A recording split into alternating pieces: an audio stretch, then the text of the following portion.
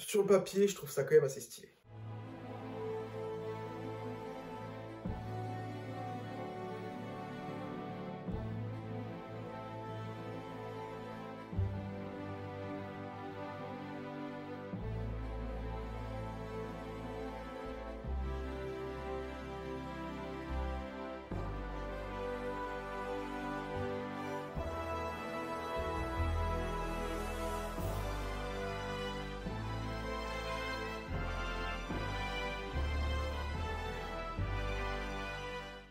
Salut Dicibor J'espère que vous allez bien. Aujourd'hui, on va revenir sur le contenu des scènes post-génériques de Shazam Fury of the Gods qui ont fuité.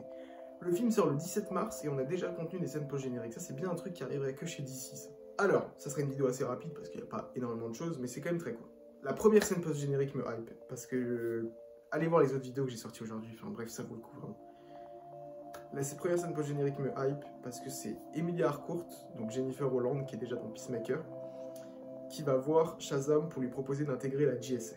Donc la GSA, pour rappel, on l'a vu dans le film Black Adam avec Carter Hall, donc Hawkman, euh, Dr. Fate, il y avait également... Je me souviens plus du nom des deux autres, mais euh, Atom Smasher et l'autre Tornado ou un truc comme ça, bref, je me souviens plus exactement, mais en tout cas, c'est ouf parce que je me souviens de son prénom, je me souviens que c'est Maxine Khan, mais j'arrive pas à me souvenir de son nom euh, de super-héroïne. Bref, c'est pas grave.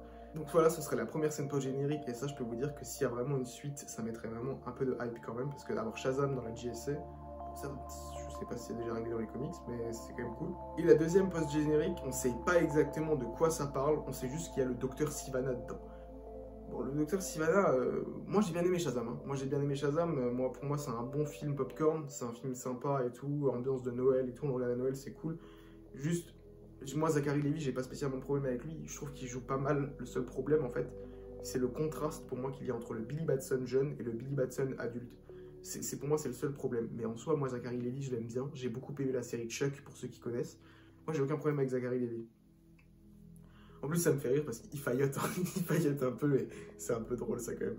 Mais voilà, la deuxième scène post-générique sera une scène avec le docteur Sivana. Donc, est-ce que c'est un teasing? Je sais pas, je sais pas du tout. En vrai, on sait pas. On sait pas, c'est rien du tout. Bref, c'était une vidéo vraiment très courte, mais c'est juste parce qu'elles ont fuité, je me suis dit que ça méritait quand même une vidéo. Attention, ça reste quand même à prendre avec des pincettes, hein, c'est pas officiel, mais pour moi ce serait pas déconnant que ce soit la scène post-générique. En attendant, tu peux partager ton avis dans les commentaires, laisser un pouce, partager la vidéo, t'abonner pour toujours plus de DC, et je t'invite à aller voir quand même Shazam Gods. Laisse-lui sa chance.